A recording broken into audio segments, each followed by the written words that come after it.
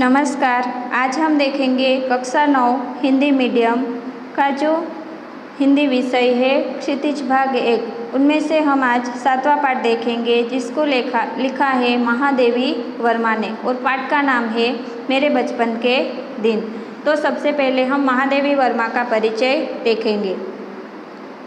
महादेवी वर्मा का जन्म सन 1907 में उत्तर प्रदेश के फरुखाबाद शहर में हुआ था। उनकी शिक्षा दीक्षा प्रयाग में हुई। प्रयाग महिला विद्यापीठ में प्राचार्य पद पर लंबे समय तक कार्य करते हुए उन्होंने लड़कियों की शिक्षा के लिए काफ़ी प्रयत्न किए। सन उन्नीस सौ सतासी में उनका देहांत हो गया। महादेवी जी महादेवी जी छायावाद के प्रमुख कवियों में से एक थी। निहार, रश्मि, निर्जा, यामा, दीपशिखा उनके प्रमुख काव्य संग्रह है। कविता के साथ साथ उन्होंने सशक्त गद्य रचनाएँ भी लिखी है, जिनमें रेखा चित्र तथा संस्मरण प्रमुख है। अतीत के चलचित्र स्मृति की रेखाएँ, पथ के साथ ही श्रृंखला की कड़िया, उनकी महत्वपूर्ण गद्य रचनाएँ हैं। महादेवी वर्मा को साहित्य अकादमी एवं ज्ञानपीठ पुरस्कार से सम्मानित किया गया। भारत सरकार ने उन्हें पद्म भूषण से अलंकृत किया है। महादेवी वर्मा की साहित्य साधना के पीछे एक और आज़ादी के आंदोलन की प्रेरणा है तो दूसरी ओर भारतीय समाज में स्त्री जीवन की वास्तविक स्थिति का बोध भी है। हिंदी गद्य साहित्य में संस्मरण एवं रेखा चित्र को बुलंदियों तक पहुँचाने का श्रेय महादेवी जी को है। उनके संस्मरणों और रेखा चित्रों में शोषित पीड़ित लोगों के प्रति ही नहीं, बल्कि पशु पक्षियों के लिए भी आत्मीयता एवं अक्षय करुणा प्रकट हुई है। उनकी भाषा शैली सरल एवं स्पष्ट है तथा शब्द चयन प्रभावपूर्ण और चित्रात्मक है।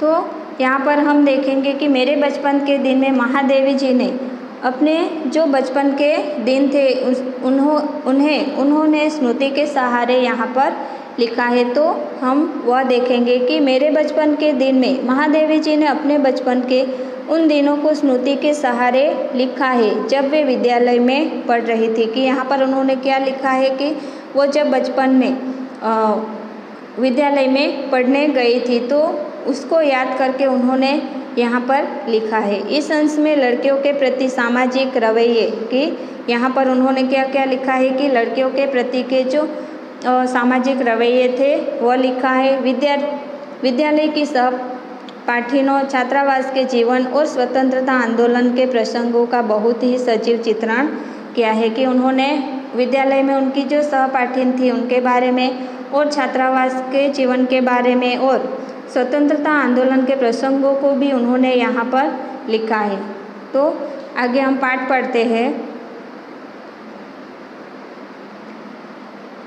पाठ का नाम है मेरे बचपन के दिन। बचपन की स्मृतियों में एक विचित्र सा आकर्षण होता है। कभी कभी लगता है जैसे सपने में सब देखा होगा। परिस्थितियाँ बहुत बदल जाती है कि अगर हम भी अभी चाहे अभी आ, सोचेंगे कि हमारे बचपन के दिन ऐसे थे हम ऐसा करते थे ये सब हमें भी अगर अभी हम भी याद करेंगे तो वो हमें बहुत ही अच्छा लगेगा। और कभी कभी तो ऐसा लगता है हमारे बचपन के बारे में हम सोचते हैं। तो मानो ये सब एक सपना था और अब वो चला गया। और उससे उसके बाद हमारे बचपन के बाद तो अभी परिस्थिति अभी कैसी हो गई है बहुत ही बदल गई है। अपने परिवार में मैं कई पीढ़ियों के बाद उत्पन्न हुई। लेखिका अपने बारे में लिख रही है कि उनके परिवार में वह वे आ, कई पीढ़ियों के बाद उत्पन्न हुई थी। यानी कि उससे पहले बहुत पहले ही लड़कियाँ, लड़कियों का जन्म उनके परिवार में नहीं हुआ था। मेरे परिवार में प्रायः दो वर्ष, दो सौ वर्ष तक कोई लड़की थी ही नहीं कि लेखिका के परिवार में 200 वर्ष तक किसी लड़की का जन्म नहीं हुआ था। सुना है उसके पहले लड़कियों को पैदा होने, होते ही परम धाम भेज देते थे कि उन्होंने यह सुना था कि पहले लोग लड़कियाँ पैदा होती थी तो उन्हें पैदा होते ही क्या करते थे? परम धाम भेज देते थे, यानी उन्हें मार देते थे। फिर मेरे बाबा ने बहुत दुर्गा पूजा की। हमारी कुल देवी दुर्गा थी। मैं उत्पन्न हुई तो मेरी बड़ी खातिर हुई और मुझे वह सब नहीं सहना पड़ा जो अन्य लड़कियों को सहना पड़ता है। कि उनके परिवार में 200 वर्ष तक कोई लड़की पैदा नहीं हुई थी तो बहुत मन्नतों के बाद, पूजा के बाद, लेखिका का जन्म होता है उनके परिवार में। तो उन्हें उनकी बहुत खातिरदारी होती थी, हुई थी और अन्य लड़कियों को सहना पड़ता है, वह सब उन्हें नहीं सहना पड़ा।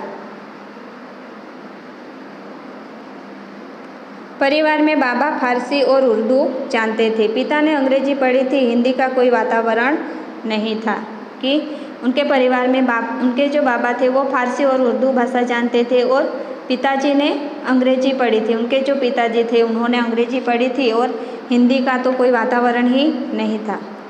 मेरी माता जबलपुर से आई, तब वे अपने साथ हिंदी लाई। उनकी माता जबलपुर से थी तो वो जब उस घर में आई थी, तब वो हिंदी, उनके साथ हिंदी भाषा वो जानती थी। वे पूजा पाठ भी बहुत करती थी। पहले पहल उन्होंने मुझको पंचतंत्र पढ़ना सिखाया। उनकी माता को हिंदी आती थी और वह, उनकी जो माता है, वो पूजा पाठ भी बहुत करती थी और पहले पहले उन्होंने लेखिका को पंचतंत्र पढ़ना सिखाया।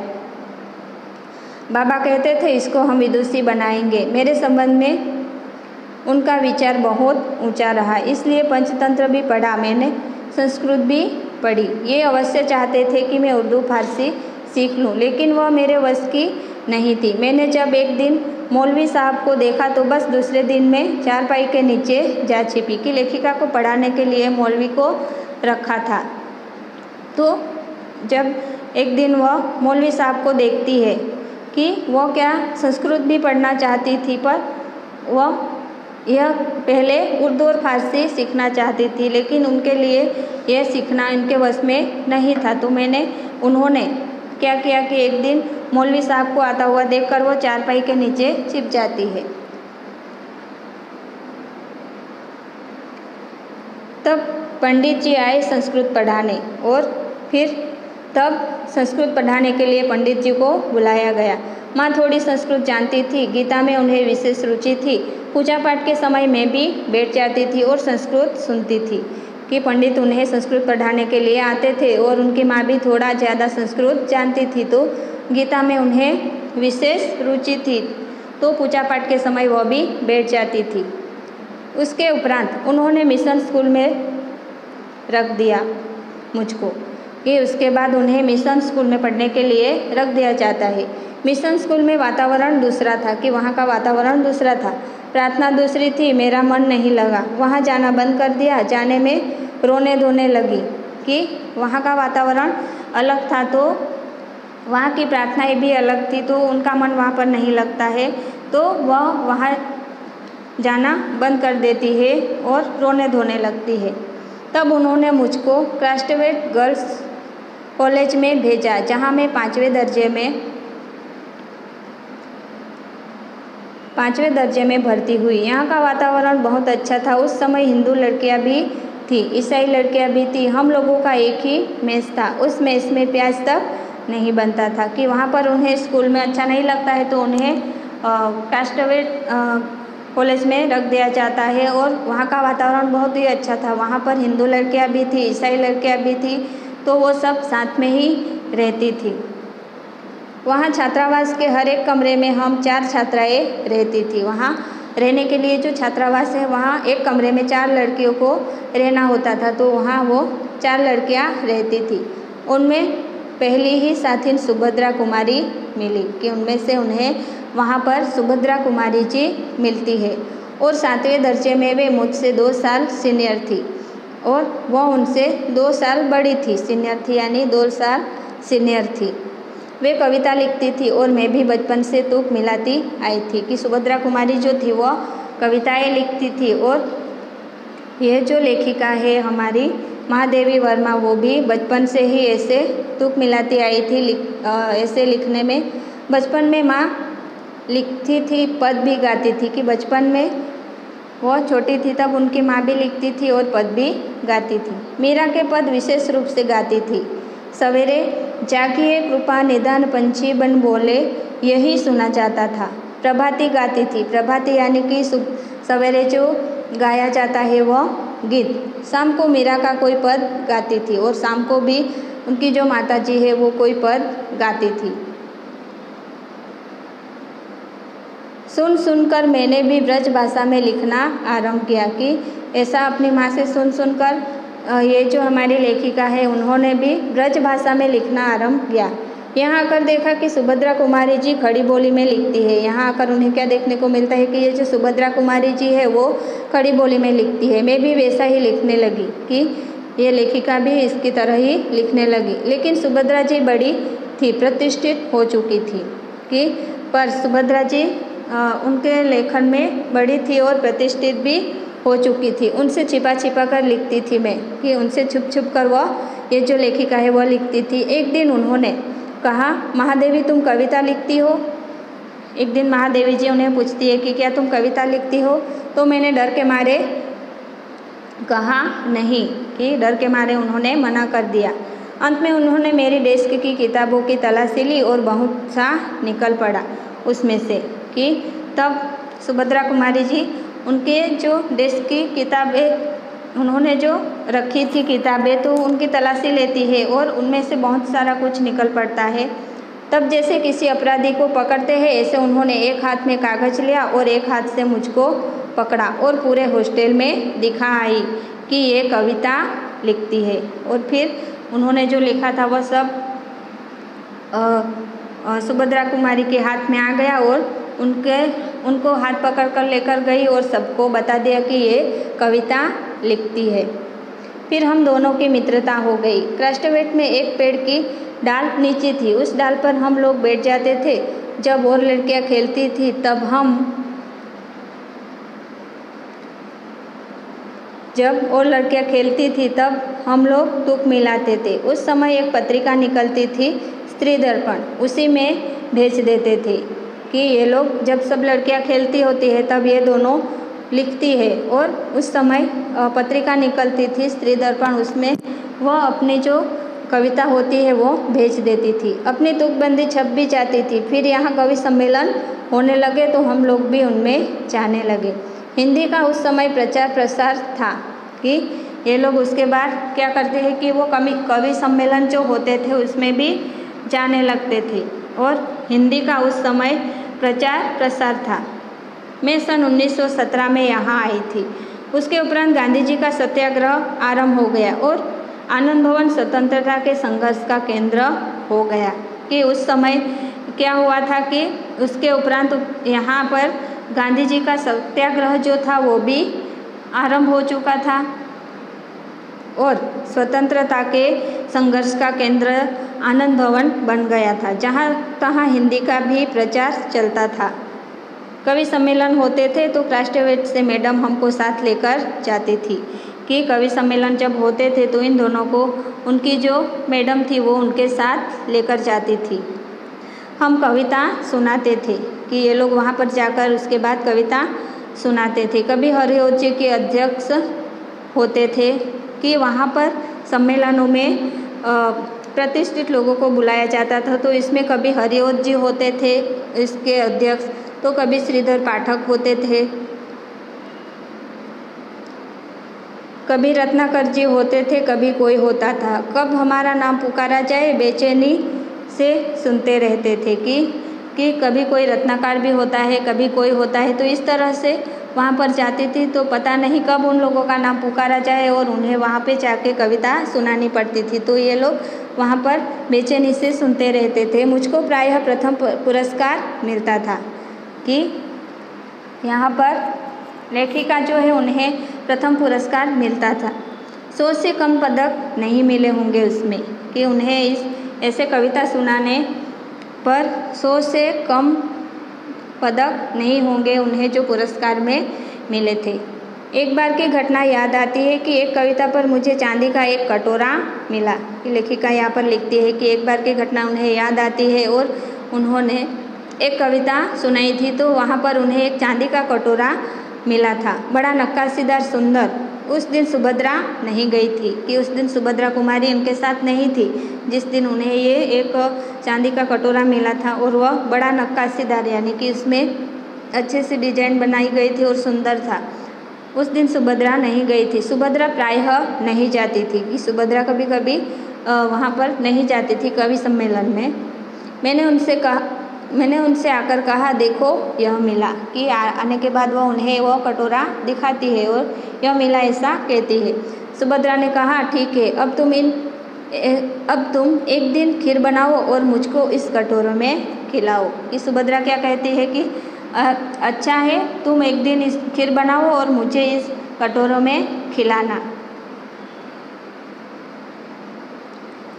उसी बीच आनंद भवन में बापू आए। कि तभी वहाँ पर एक दिन आनंद भवन में बापू आने की हमारे गांधी जी थे वो आते हैं। हम लोग तब अपने जेब खर्च में से हमेशा एक एक दो दो आने देश के लिए बचाते थे कि उस समय ये लोग क्या करती थी कि अपना जो जेब खर्च होता है, अपनी जो खर्चे होती है, उसमें से एक एक या दो दो रुपया देश के लिए बचाती थी। और जब बापू आते थे तो वह पैसा उन्हें दे देते थे कि जब भी बापू आते थे तब वो पैसे वह उन्हें दे देती थी। उस दिन जब बापू के पास में गई तो अपनों कट, अपना कटोरा भी लेती गई। मैंने निकाल कर बापू को दिखाया। मैंने कहा कविता सुनाने पर मुझको यह कटोरा मिला है। कहने लगे अच्छा दिखा तो मुझको कि वो कटोरा दिखाती है और बापू उन्हें देखने के लिए मांगते हैं। मैंने कटोरा उनकी ओर बढ़ा दिया और उसे हाथ में लेकर बोले तू देती है इसे? कि बापू को दिखाया। तो बापू उसे हाथ में लेकर देखते हैं और वह क्या पूछते कि तू ये कटोरा मुझे देती है? अब मैं क्या कहती? मैंने दे दिया और लौट आई। कि अब वो मना तो नहीं कर पाती तो उन्होंने वह दे दिया और वहाँ से लौट आती है। दुख यह हुआ कि कटोरा लेकर कहते कविता क्या है? कि उन्होंने कटोरा ले लिया उसका दुख नहीं हुआ पर कटोरा भी ले लिया पर उन्हें आ, कौन सी कविता गाई या बताई वो उन्होंने नहीं पूछा। उस बात का दुख उन्हें हुआ।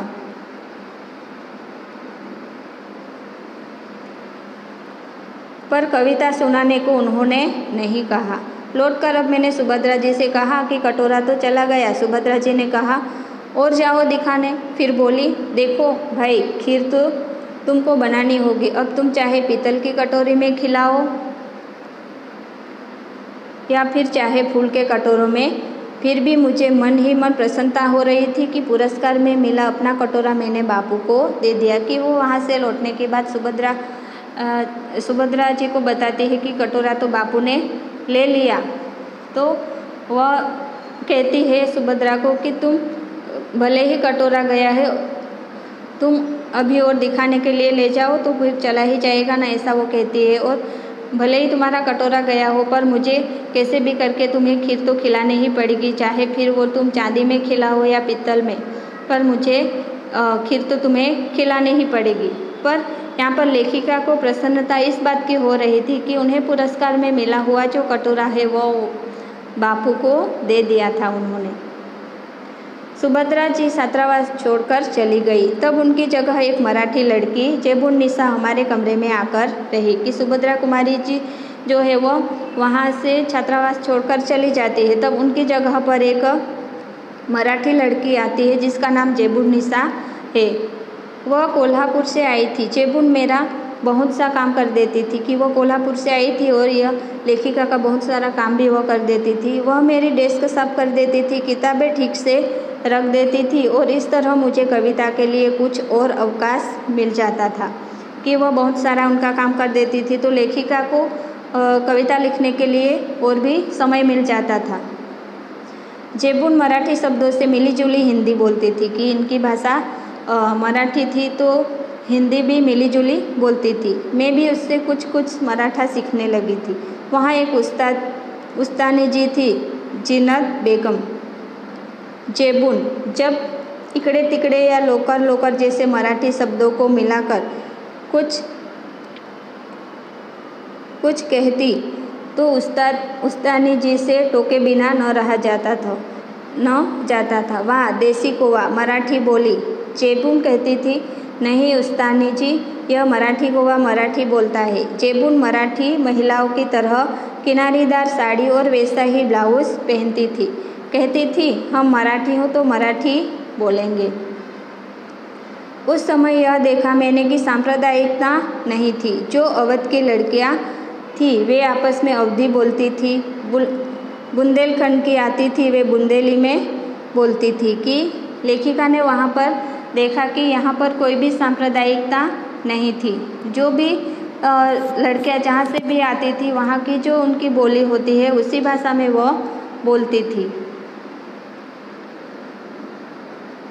कोई अंतर नहीं आता था और हम पढ़ते हिंदी थे कि सबको भाषा के, भाषा को लेकर कोई भी अंतर नहीं आता था और ये लोग क्या पढ़ते थे? हिंदी।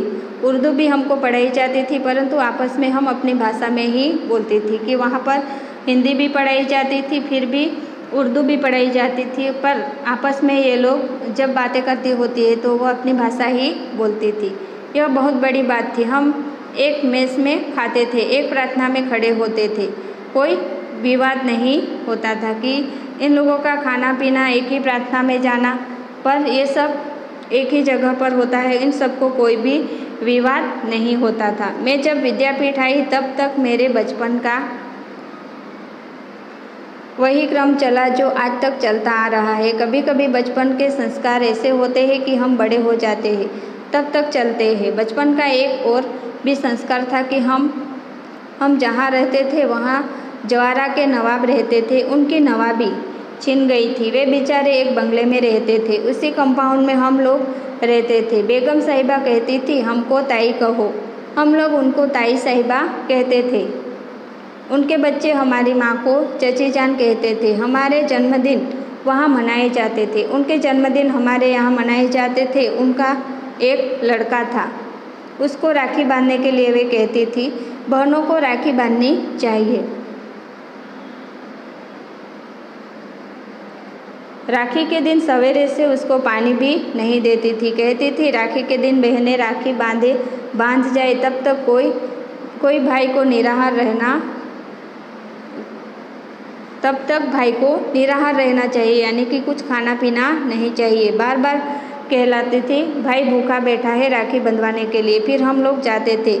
हमको लहरिया या कुछ मिलते थे। इसी तरह मुरहम में हन, हरे कपड़े उनके बनते थे तो हमारे भी बनते थे। फिर एक हमारा छोटा भाई हुआ, वहाँ तो ताई साहिबा ने पिताजी से कहा, देवर साहब से कहो, वो मेरा नेक ठीक करके रखे।